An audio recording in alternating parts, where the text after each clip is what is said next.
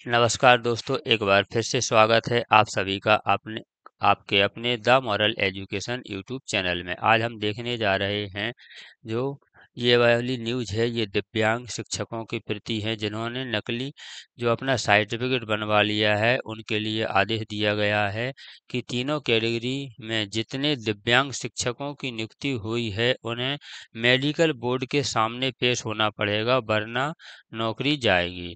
तो ये वाला आदेश जारी हो गया है, देखते हैं क्या है, संपूर्ण जानकारी। शिक्षक भर्ती में गड़बड़ी, ठीक है ना?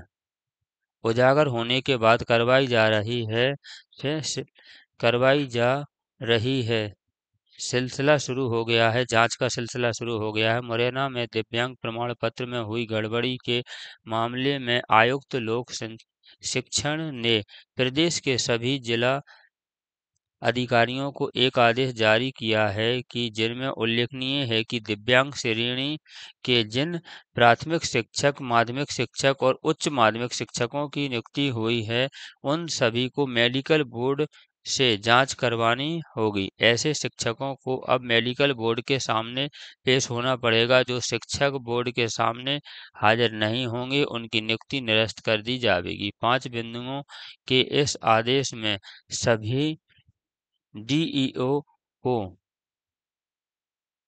डीईओ को हिरासत में लिया है और 8 जुलाई तक यह काम पूरा करने के लिए कहा गया है। एक ही जिला मुरैना से करीब 77 77 दिव्यांग प्रमाण पत्र के आधार पर नियुक्ति होने की शिकायत सामने आई है। आयुक्त लोक शिक्षण ने आदेश में यह ज़िक्र किया है कि प्राथमिक जाँच में कई दिव्यांग शिक्षकों के प्रमाण पत्र मुरैना से जारी होने के पाए गए हैं। आगे देखते हैं जानकारी।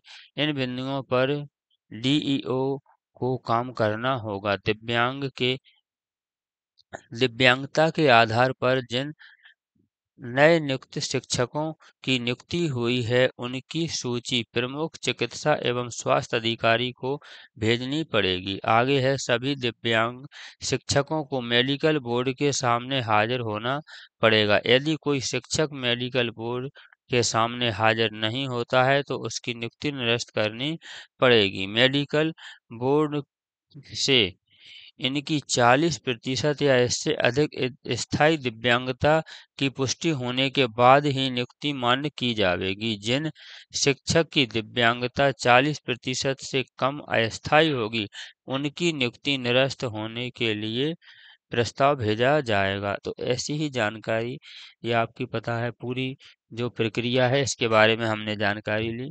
ऐसी ही जानकारी प्राप्त करने के लिए आप हमारे चैनल को सब्सक्राइब कर लें और वीडियो अच्छी लगी हो तो लाइक, शेयर, कमेंट करें। वीडियो देखने के लिए धन्यवाद।